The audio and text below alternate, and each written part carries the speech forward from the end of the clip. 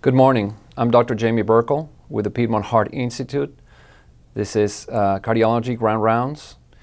I'm a uh, cardiovascular consultant with the Piedmont Heart Institute with a practice focused on cardiac imaging, prevention, metabolism, and lipids. Today's talk is on cardiometabolic therapies. I'll be talking to you about this important um, topic and how this applies to our patients with cardiovascular risk. I'll be focusing specifically on arguably the most important new class of cardiovascular medications, the SGLT2 inhibitors. These are my disclosures, um, part of the Speakers Bureau at Boehringer Ingelheim and Amgen. So let's start with the definition. Cardiometabolic syndrome is a combination of metabolic dysfunctions, mainly characterized by insulin resistance, impaired glucose tolerance, dyslipidemia, hypertension, and central adiposity. This is a very prevalent disease. 58% of patients with coronary artery disease have more than three metabolic risk factors in terms of the metabolic syndrome. Hypertension, dyslipidemia, and diabetes account for 92% of morbidity and mortality amongst coronary artery disease patients. And this is something that increases with age. Uh, so you can see the prevalence, over 50% of males under, uh, over age 70 have the metabolic syndrome and over 70% of female patients have the metabolic syndrome uh, after the age of 70. The metabolic um, risk and key considerations are the following. These patients have increased visceral fat, uh, insulin resistance. They have atherogenic dyslipidemia characterized by increased triglycerides, low HDL, and small dense LDL particles. They often have hypertension, glucose intolerance, uh, whether it's in impaired glucose tolerance or full type 2 diabetes. They have impaired fibrinolysis with increased PAI-1 and fibrinogen. They have inflammation characterized by increased uh, C-reactive protein. They also have the uh, polycystic uh, ovarian syndrome characterized by a decrease in sex hormone binding globulin and increased free testosterone. And they also have non-alcoholic fatty liver disease, all of this contributing to increased cardiometabolic risk. And these patients also have multiple uh, risk factors, including insulin resistance, uh, obesity, physical inactivity, abnormal lipid metabolism, hypertension, and in many instances, smoking and age, uh, race, sex, and family history, all of them increasing cardiovascular risk. So what are the treatment goals when treating patients with cardiometabolic syndrome? First is reduction of mortality, then is reduction of major adverse cardiac events, followed by lipid and blood pressure control, organ protection, specifically with kidneys and eyes, glucose control, and weight control. We know that thanks to a um, large number of randomized prospective clinical trials, we have a number of drugs that have been proven to reduce cardiovascular morbidity and mortality amongst patients with diabetes and the metabolic syndrome. These include ACE inhibitors or ARBs, which have been, have been shown in clinical trials to reduce all-cause mortality by 13 to 15 percent, and they have shown also a 17 to 20 percent reduction in cardiovascular mortality. This is the reason why, unless contraindicated, we prescribe ACE inhibitors or ARBs to all our diabetic patients. Same thing applies to statins. Data from uh, randomized clinical trials have shown us that 32 to 30 4% reduction of all-cause mortality is observed in patients uh, who are prescribed statins in the setting of diabetes. And this result in a 21 to 24% reduction in cardiovascular mortality. Um, cardiovascular mortality. Therefore, this is also an indication for um, patients with diabetes unless contraindicated. And now we have two new classes of drugs that have shown in, an improvement in cardiovascular morbidity and mortality.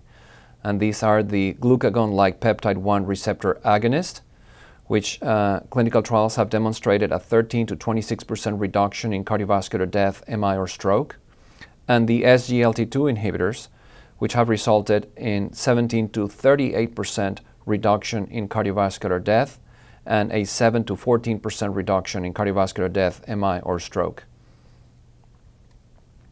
So how did we get here? You might remember that back in 2008, when uh, rosiglitazone was approved by the FDA, resulted in a significant increase in cases of congestive heart failure, hospitalizations, and cardiovascular death. As a result, the drug was recalled, and the FDA mandated that all uh, anti diabetic drugs should have an additional parallel arm uh, for major adverse cardiac events uh, versus the control group. And the upper limit of the 95% confidence interval for the hazard ratio had to be less than 1.8 for pre-marketing study and pre-marketing studies and less than 1.3 for post-marketing studies. So these are now the new classes of anti-diabetic drugs available, the TZDs or thiazolidinediones uh, and in glitazone, the DPP-4 inhibitors that have the ending gliptin, the GLP-1 receptor agonist with the ending on uh, glutide, and the SGLT2 inhibitors with an ending on gliflozin. Only these two classes of drugs have demonstrated cardiovascular uh, benefits as far as reduction in morbidity and mortality, the GLP-1 receptor agonist and the, G, uh, the SGLT2 inhibitors. So let's talk about GLP-1 receptor agonists.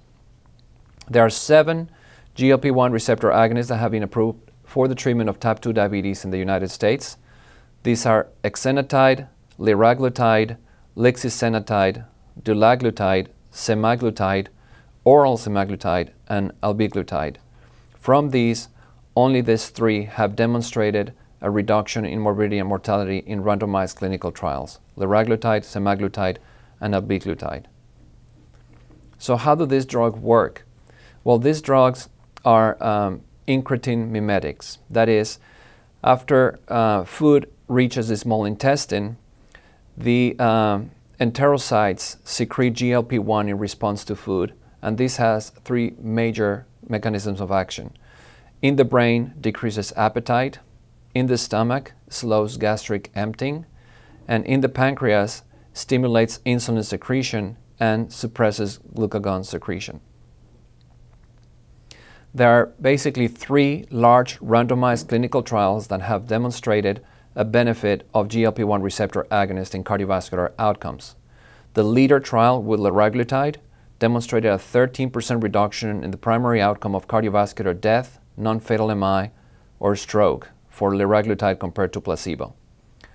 The SUSTAIN 6 and the PIONEER 6 trials with semaglutide demonstrated a 26% and a 21% reduction respectively in the three-component MACE endpoint as defined as cardiovascular death, non-fatal MI, or non-fatal stroke.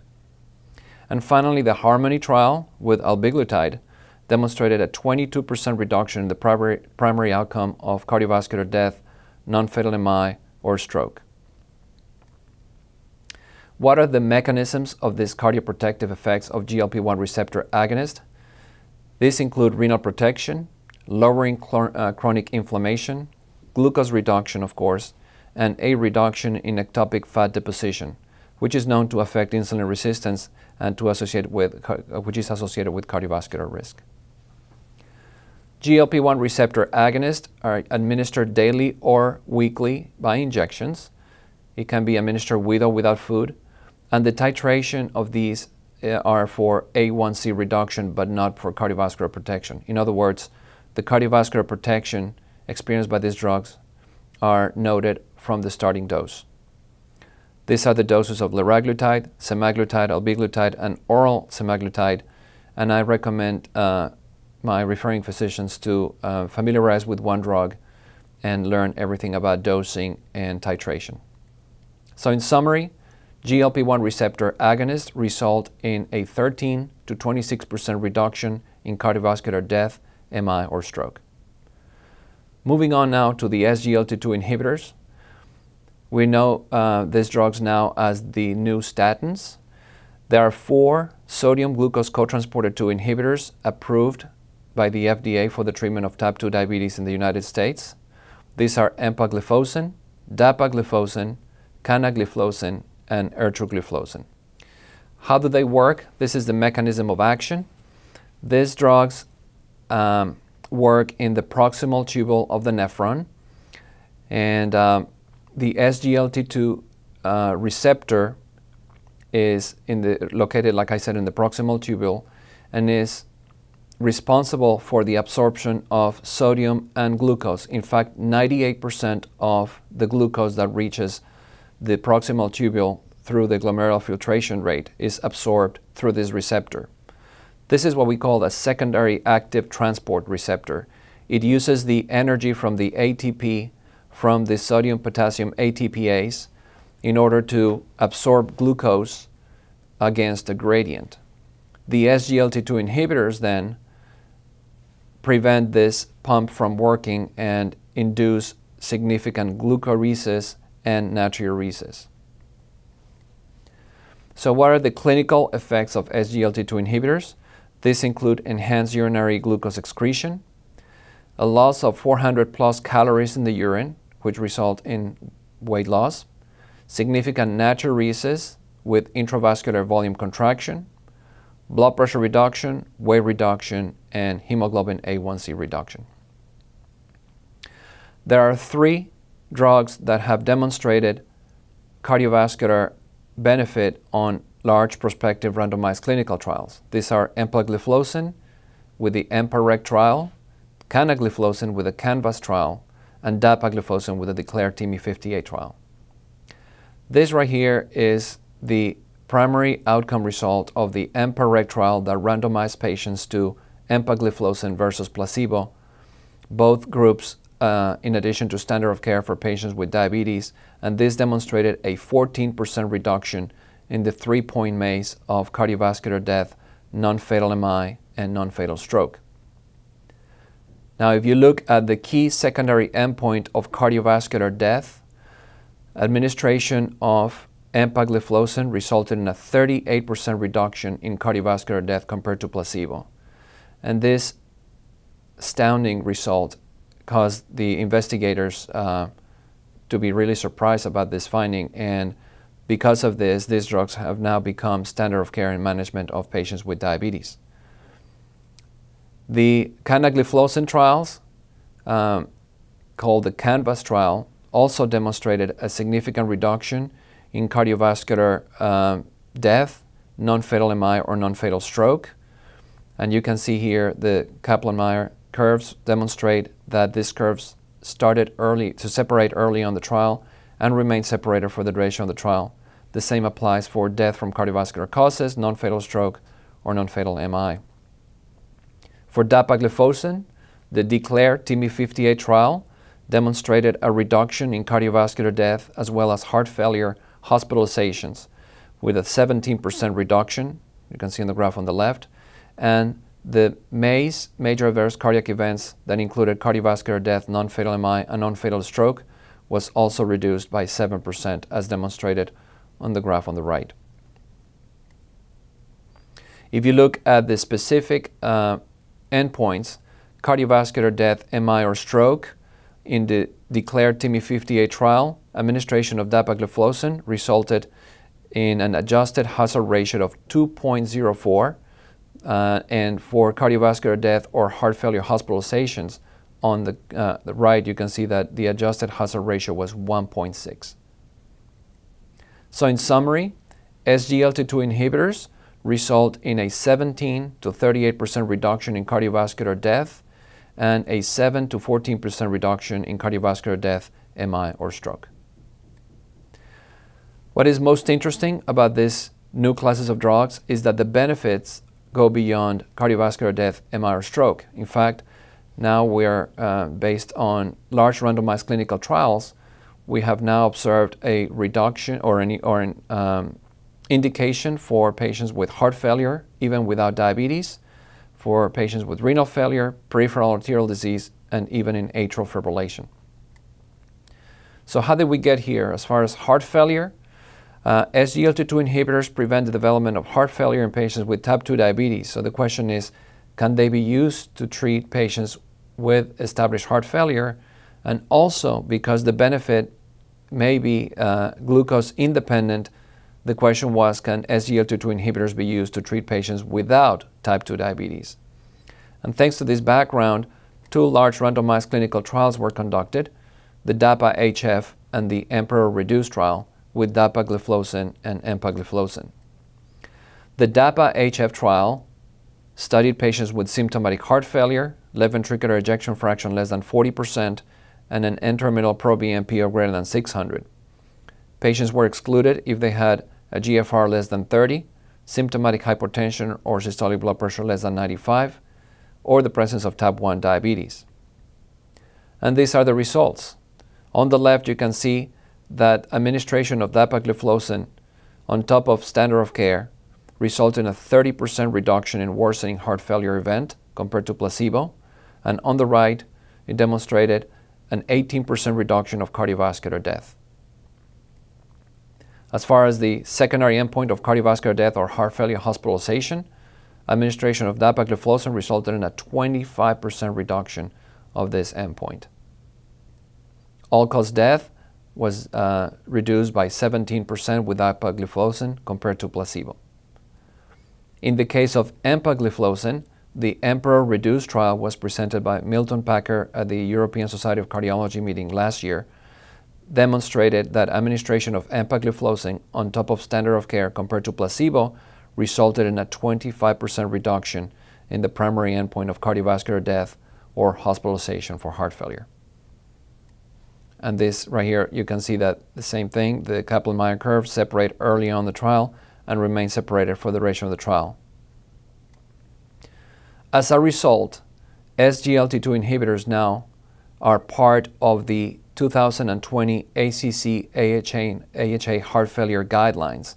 And as you can see here, on patients with heart failure with reduced ejection fraction stage C, in addition to an ARNI and an evidence-based beta blocker, these drugs, SGLT2 inhibitors now can be added for patients who meet the EGFR uh, criteria, and they're at the same level as drugs like mineralocorticoid receptor antagonist, diuretics, uh, hydralazine nitrates, or ivabradine.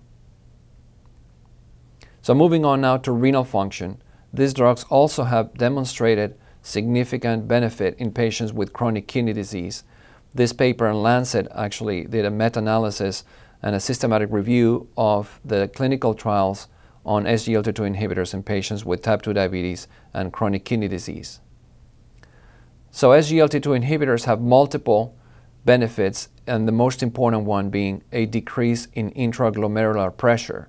Similar to ACE inhibitors, uh, when you first administer these drugs, you will see a slight decrease in GFR, which is the hemodynamic effect of the drug, followed by stabilization of renal function compared to placebo patients that exhibit a typical progressive decline in renal function. These are the physiologic changes that have been observed in the kidney after administration of SGLT2 inhibitors. In the tubular function area, in, uh, result in increased glucosuria, increased natriuresis, and a decrease in proteinuria. As far as the glomerular hemodynamics, these drugs result in an increased afferent arteriolar vasoconstriction, an increase in tubul uh, tubuloglomerular feedback, and most importantly, a decrease in the intraglomerular pressure. The systemic hemodynamics effects include a decrease in blood pressure, decrease in plasma volume, decrease in arterial stiffness, and possibly an improvement in energy utilization. This um, Forrester plot will show you that in all these clinical trials, the Credence, the Declare, Declare TIMI 58, CANVAS, and the EMPA-REG outcome trials have demonstrated that SGLT2 inhibitors improve renal function compared to placebo. And this is data from the recently published DAPA-CKD trial, which administered uh, dapagliflozin in patients with chronic kidney disease and clearly shown that Initial administration of dapagliflozin results in a slight decrease in renal function, or GFR, followed by stabilization over the long term, compared to placebo patients that exhibit a progressive decline in renal function. And this is whether the patients have established cardiovascular disease or not. The graph on the left demonstrate that administration of dapagliflozin results in a significant reduction in worsening renal failure by the primary endpoint, which is a, a GFR decline greater than 50%, end-stage kidney disease, or, cardio, or kidney cardiovascular death. And on the right, you can see the secondary endpoint, which was heart failure, hospitalization, or cardiovascular death, which was also decreased with dapagliflozin compared to placebo, both in patients with cardiovascular disease or without.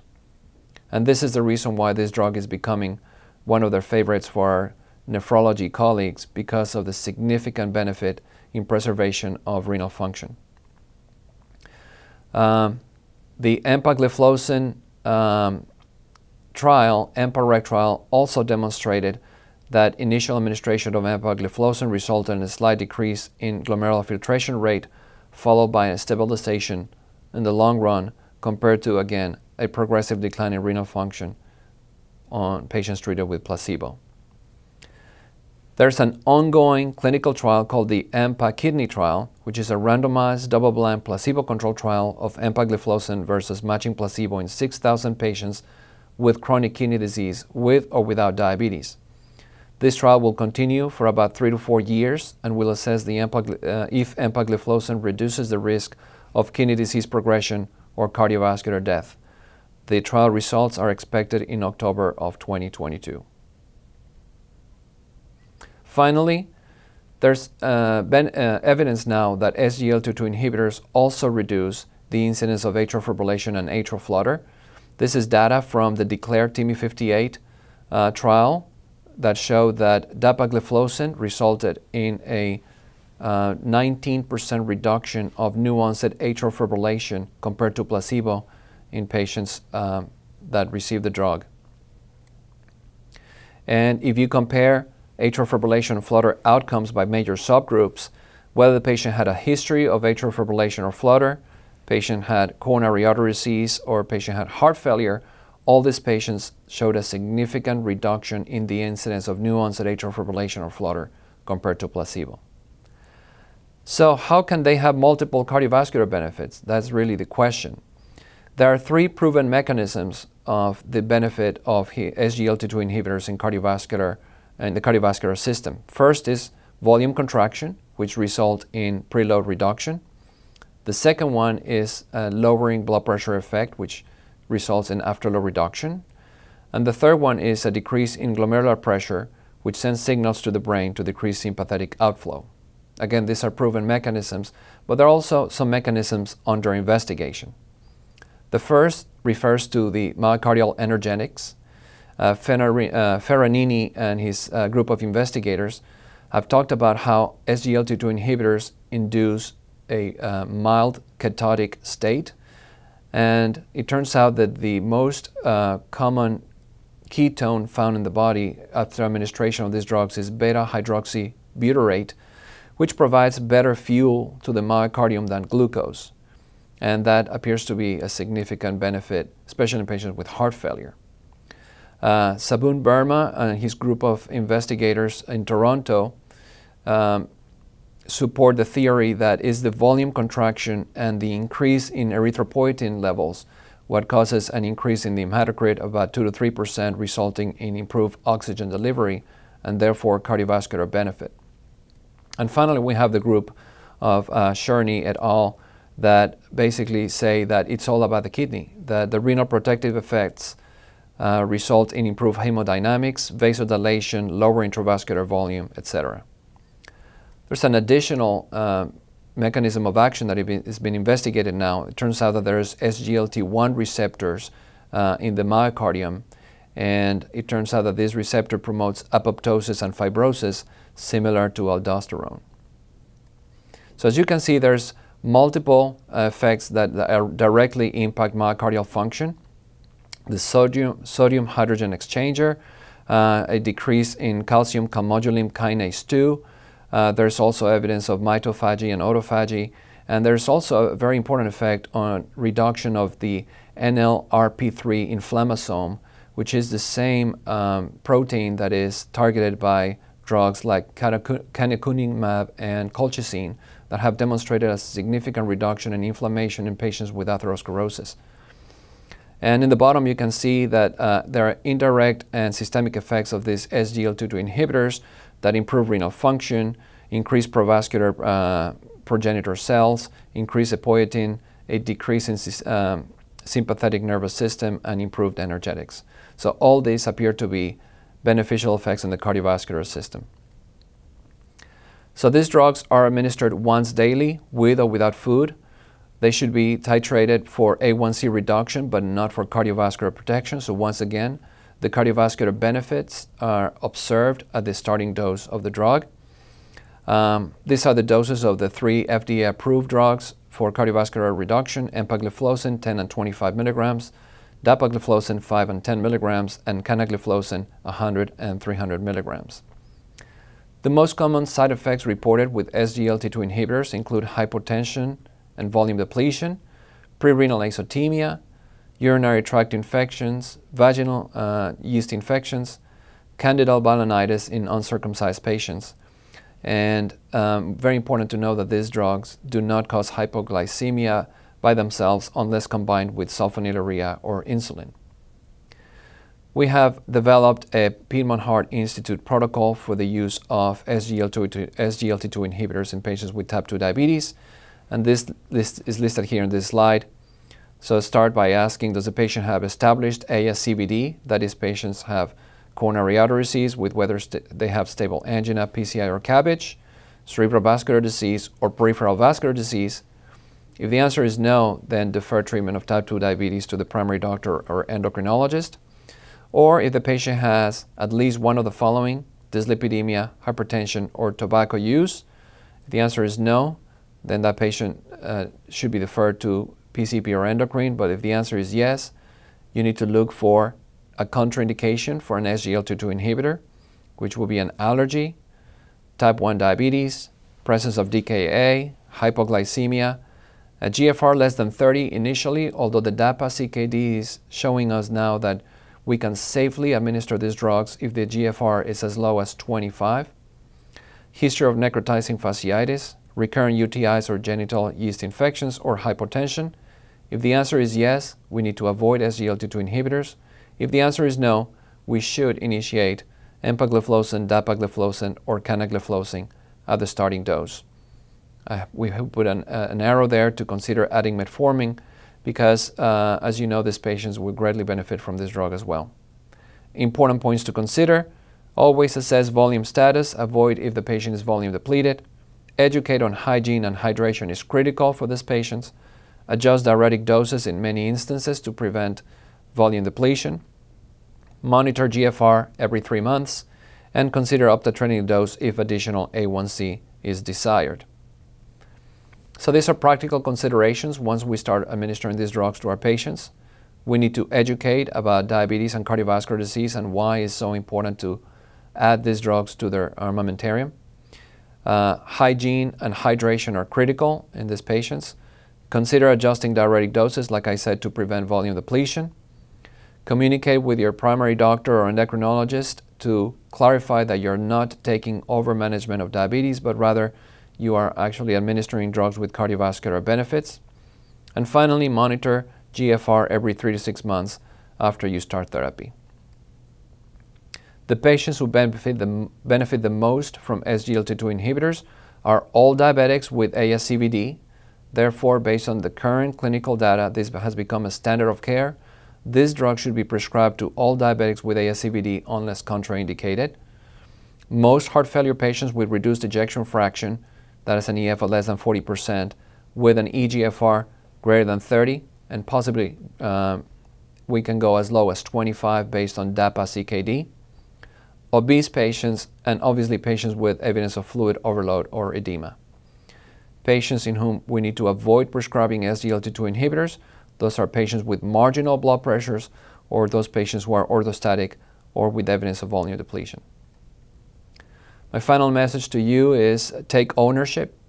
These are cardiovascular drugs with anti-diabetic effects and not anti-diabetic drugs with cardiovascular effects.